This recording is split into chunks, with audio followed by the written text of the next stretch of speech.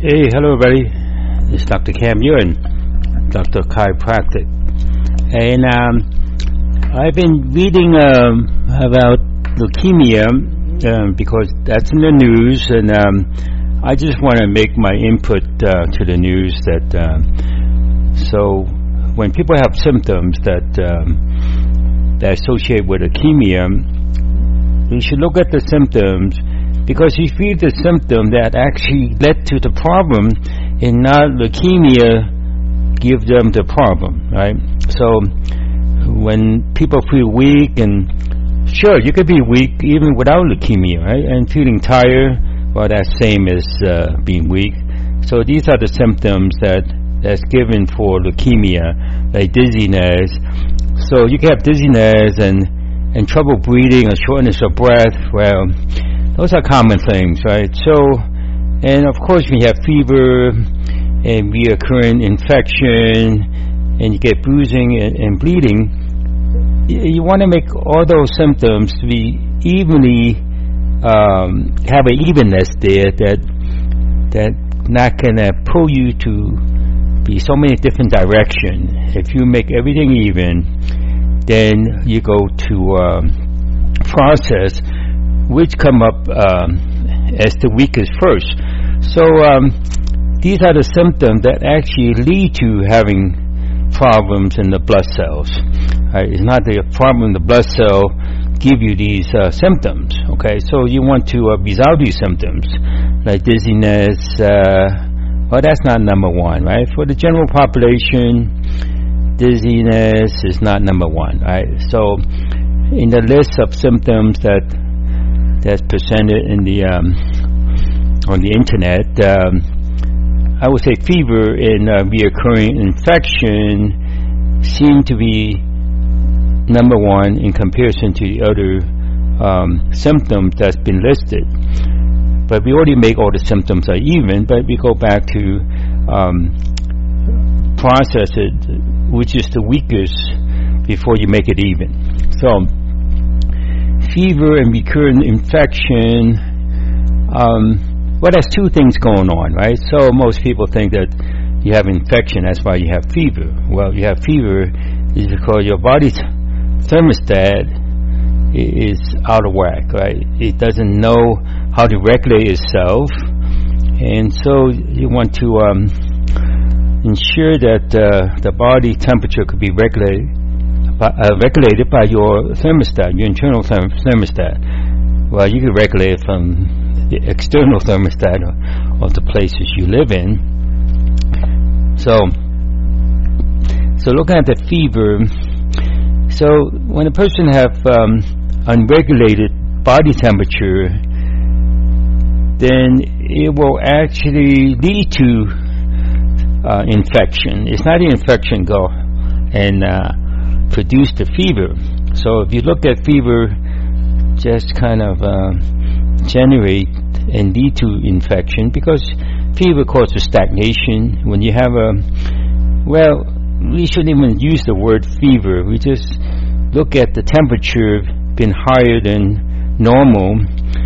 When the temperature is higher than normal, then there would be stagnation of a body fluid, including your blood, and your lymphatic.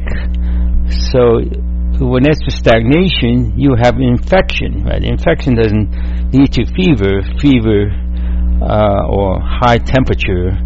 As I said, don't even use the word fever for having high temperature, internal high temperature. You can actually even out the temperature very easily. So once you even that out, then then it will not affect the blood cells, right? So um, it's not like the blood cell problem of leukemia caused fever and a reoccurring infection, okay? So that's one thing, right? Of course, this is not totally in depth, but I just want to get started somewhere, okay? Now, difficult breathing, shortness of breath, well, I have some of that myself, right? So that's common. Uh, when we get older, we're out of sync uh, within ourselves and it's actually um, make it difficult to breathe and, and, have shortness of breath, especially when you uh, doing some exertion, right? Or go and run and sprint, and you will find yourself not, or even walking, right? You find yourself not as good as in breathing than when you were in your 20s and 30s or 40s, right? So, but uh, it have nothing to do with, uh, again, with leukemia. It have nothing to do with your respiratory system either.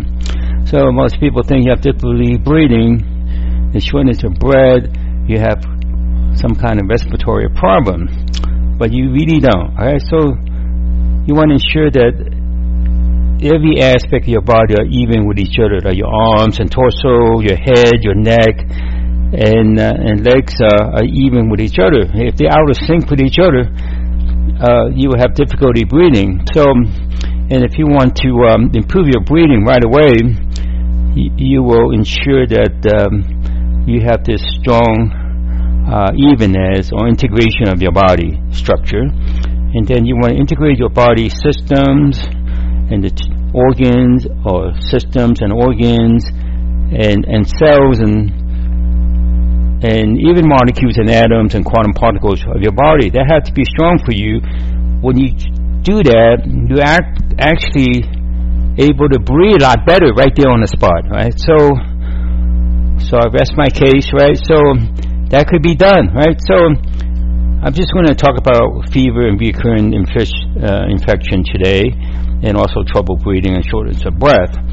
So I would talk about the other symptoms that you could actually resolve those symptoms that doesn't lead to having um, abnormal uh, blood cells.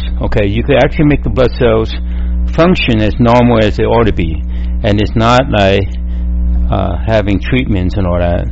If you choose to have treatment, that's fine, right? I'm not discouraging anyone from having treatment. So by doing this uh, approach, you support the treatment, so the treatment will work for you instead of it might do damage to you, it might even kill you in the process. So I I know of people or hear of people as well that people kind of die very uh, prematurely with leukemia, and it doesn't have to be. Okay, so the treatment itself, you want to be strong to the treatment.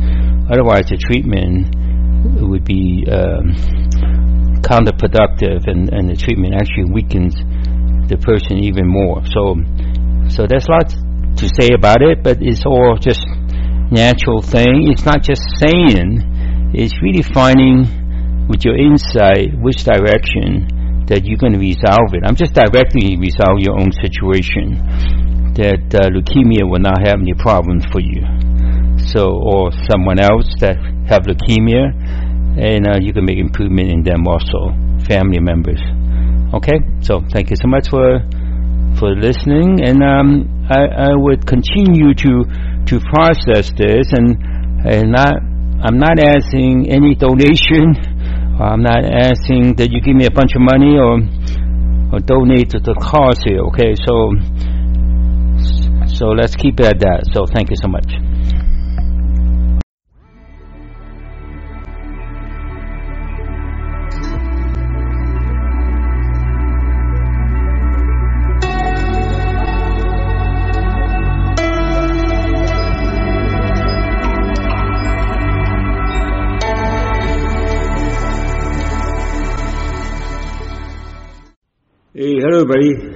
If you are listening to my podcast, um, they are now all on iTunes. So leave me a, a review uh, so I could do better and better in meeting your wellness need.